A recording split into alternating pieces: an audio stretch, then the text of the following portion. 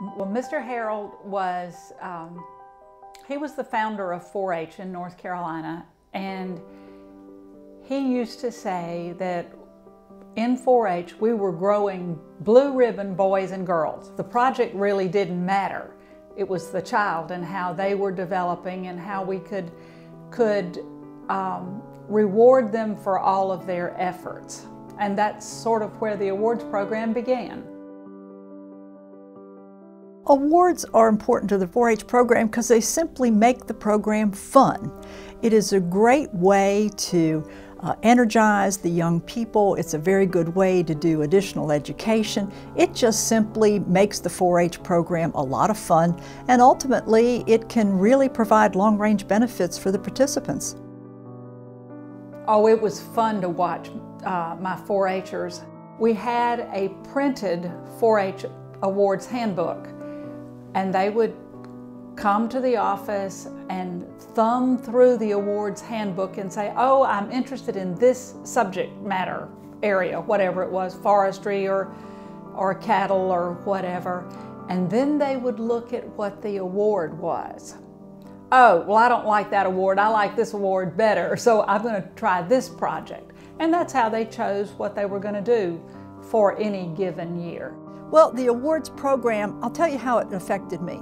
I saw young people receiving awards and I thought, I know them.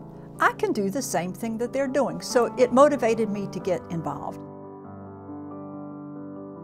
The rewards can be things like um, financial rewards, college scholarships, uh, the young people that sell their cattle, they're putting their, that money into a college fund in a lot of cases.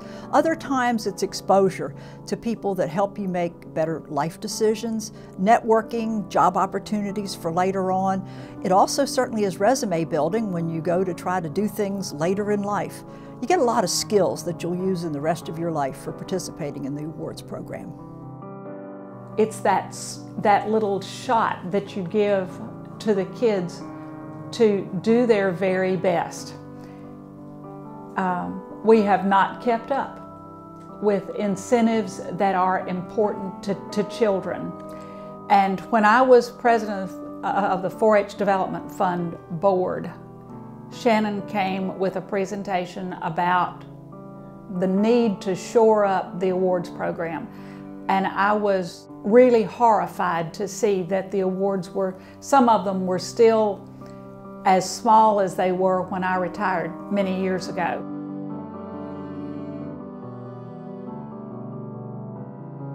I would encourage each and every one of you to participate in the It Forward program. It's my personal mission to make sure that today's North Carolina 4-Hers have the same opportunities that I had. And it's only with donor participation will we have opportunities for an ever needy community of youth to make our state a better state.